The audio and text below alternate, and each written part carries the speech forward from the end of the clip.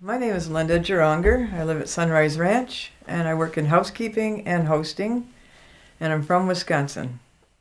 My gift is to observe and assist where I am needed to help others. My purpose is to bring out the smile in others. My dream is to open up to new possibilities.